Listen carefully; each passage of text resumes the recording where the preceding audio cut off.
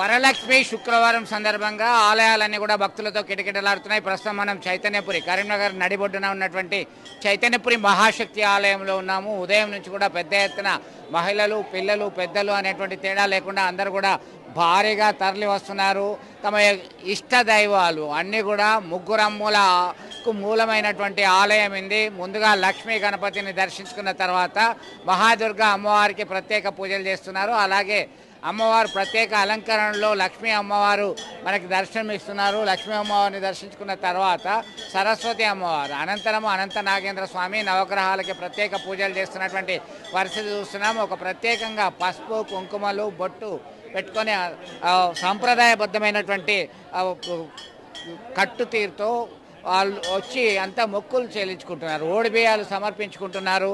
ఇదంతా కూడా మనం చూస్తున్నాము. దీనిలో భాగంగా మహాలక్ష్మి అమ్మవారికి ప్రత్యేక అలంకరణలో పూలు పండ్లు పసుపు కుంకుమ అన్నీ కూడా ఒక్కటేంటి? అన్ని రకాల సౌకర్యాలు సముపార్జించడం జరిగింది. అమ్మలగమ్మ అమ్మ ముగ్గురమ్మల మూలపుటమ్మలుగా కొలుస్తారు వరలక్ష్మి శుక్రవారం యొక్క ప్రత్యేకత ఏంటి? మనతో మాట్లాడడానికి స్థానిక ఆచార్యులు ఉన్నారు. చెప్పండి అయ్యా ఏంటి అసలు? ఎందుకు వరలక్ష్మి అమ్మవారికి ప్రత్యేకత ఈరోజు? ఓం శ్రీమాత్రే నమ. సర్వమంగళ మాంగళ్యే శివే సర్వార్థసాధికే. శరణ్యే త్రయంబకే దేవి. నారాయణి నమోస్తుతే.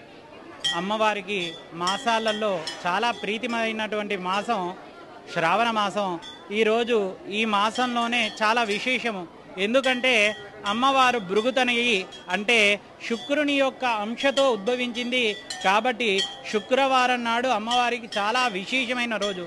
అందులో అమ్మవారు చంద్ర సహోదరి అమృతమదనం అప్పుడు అమ్మవారు చంద్రుడు ఐరావతం ఇవన్నీ కూడా ఆ అమృతమదనంలో ఉద్భవించినవి. కాబట్టి చంద్రుడు ఆమెకు సోదరుడు. కాబట్టి ఎప్పుడైతే పౌర్ణమి నాడు శ్రావణ మాసంలో పౌర్ణమి నాడు చంద్రుడు చాలా బలంగా ఉంటాడో అంతకు ముందు వచ్చే శుక్రవారం నాడు అమ్మవారికి చాలా ఇష్టమైన దివసం.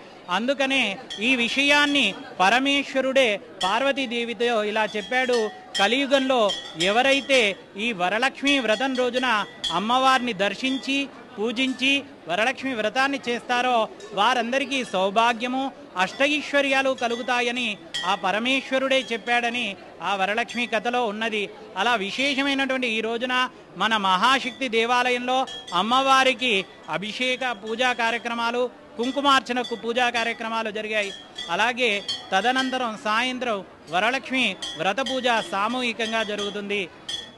అలాగే ఈ వరలక్ష్మి వ్రత విశేషం ఏమిటంటే అమ్మవారిని అందరూ కూడా తమ ఇంటి ఆడబిడ్డగా భావించి అమ్మవారికి ఓడి బియ్యం సమర్పించి అమ్మవారి ప్రసాదంగా మళ్ళీ ఆ బియ్యాన్ని ఇంటికి తీసుకువెళ్ళి వారు కోరుకునే వృద్ధి కోరుకునే వాటిలో బియ్యంలో పిల్లలపై అలా అమ్మవారి అక్షతలుగా వేసి ఆ వృద్ధిని కోరుకుంటారు. అమ్మవారిని ఇవాళ ఎవరైతే దర్శిస్తారో వారింట్లో వరాలు అష్టైశ్వర్యాలు వరం రూపంలో ప్రసాదించడం జరుగుతుంది అని భక్తుల ప్రగాఢ విశ్వాసం. అందుకే మన కరీంనగర్ పట్టణం నుండి కాక ఇటు చుట్టుపక్కల గ్రామాల నుండి కూడా భక్తులందరూ తండోపతండాలుగా వచ్చి మన మహాశక్తి దేవాలయాన్ని దర్శించుకొని ఆ అమ్మవారి కృపకు పాత్రులవుతున్నారు. మహాలక్ష్మి అమ్మవారిని సుందరంగా అలంకరించడం జరిగింది. ముందుగా శ్రీచక్ర యంత్రం ఉంది. అందమైనటువంటి నగ మెడలో అలంకరించడం జరిగింది. పసుపుతో ఎర్రని వస్త్రాలను ధరింపజేశారు. గజమాలలు ధరింపజేశారు. పుష్పాలంకరణ చేశారు. ఇదంతా కూడా ఉత్సవ విగ్రహాన్ని సైతం అందంగా తీర్చిదిద్దడం జరిగింది. అష్టలక్ష్మికి ప్రతిరూపంగా వరలక్ష్మి అమ్మవారిని మనం కొలుస్తుంటాము. వరలక్ష్మి అమ్మవారిని ఎవరైతే పూజిస్తారో కొలుస్తారో వాళ్ళందరికీ సర్వ సౌభాగ్యాలు కోరిన కోరికలన్నీ కూడా నెరవేరుతాయని చెప్పి స్థానిక ఆచార్యులు చెప్తున్నటువంటి పరిస్థితి ఉంది. మనం చూస్తున్నాం ఇక్కడ దీనికి సంబంధించి స్థానిక నేత ఉన్నారు. రమణారెడ్డి గారు చెప్పండి మహాశక్తి ఆలయానికి సంబంధించినటువంటి ప్రత్యేక పూజలు వ్రతాలు అన్నీ కూడా గొప్పగా జరుగుతున్నాయి. మనం చూస్తున్నాం చాలామంది పెద్ద ఎత్తున భక్తులు ఉదయం నుంచి కూడా తరలి వచ్చి ప్రత్యేక పూజలు చేస్తున్నారు. ఇట్లాంటి పరిస్థితి ఎప్పుడు ఉంటుందా? ఏంటి దీనికి శ్రీ ముగ్గురు అమ్మవార్లు వెలిసిన ఆలయంలో మన కరీంనగర్ పట్టణంలో బ్రహ్మాండంగా శక్తిపీఠాలు మహాశక్తి మా మహాలక్ష్మి మహాసరస్వతి టెంపుల్ ఒక దగ్గర ఉండడం వలన చుట్టుపక్కల విలేజ్లతో పాటు చుట్టుపక్కల జిల్లాల వాళ్ళు కూడా ఈ మధ్యకాలంలో ఎక్కువైపోయినారు. చాలామంది ఎంత అద్భుతం అంటే ఇది మేము ఎప్పుడు కని వినివరని దాదాపు మూడు గంటల నుంచి చూస్తున్నాం. ఈ గంట గంటకు ఇంత వేలాది మంది తరలి వస్తున్నారు. కొత్త కొత్త వాళ్ళు. ఇప్పుడు మేము రెగ్యులర్గా చూస్తూ ఉంటాం. పదిహేను సంవత్సరాల క్రితం స్టార్ట్ అయినప్పుడు వందల మందితో ఇప్పుడు వేల మందితో లక్షల మందికి వస్తుందేమో అనిపిస్తుంది. అద్భుతంగా ఉంది. మాకు చాలా ఆనందంగా ఉన్నది. ఇప్పుడు స్వామివారు వాళ్ళు ప్రధాన అర్చకులు చెప్పినట్టుగా చాలా శ్రేష్టమైన శుక్రవారం ఇది అని చెప్పి చెప్తున్నారు. దానికోసం అందరు భక్తులు తెలుసుకొని చాలా బ్రహ్మాండంగా నడుస్తున్నది. ఇప్పుడు సాయంత్రం మళ్ళా సామూహిక వ్రతాలు నడు కుంకుమార్చనలు నడుస్తూ ఉంటాయి. అప్పటికి ఇంకెట్టుంటుందో కానీ చాలా అద్భుతంగా ఉందండి. చాలా ధన్యవాదాలు. మొత్తం మీద ముగ్గురమ్మలకి నిలయంగా ఉన్నటువంటి మహాశక్తి ఆలయంలో ఓడిబిడ్డ ఓడిబియ్యం కూడా సమర్పిస్తున్నటువంటి పరిస్థితి. అమ్మ మీరు చూడండి వరలక్ష్మి వ్రతాన్ని ఆచరిస్తారా? ఎప్పుడు కూడా ఈ టెంపుల్కి వస్తుంటారా? వస్తుంటాము. ఎట్లా అనిపిస్తున్నది? చాలా బాగా అనిపిస్తుంది. అమ్మ మీరు చెప్పండి ఎప్పుడు వస్తుంటారా? ఎప్పుడు వస్తుంటాం. చాలా బాగా అనిపిస్తుందండి. ఎప్పుడు వస్తాం ఈ టెంపుల్కి?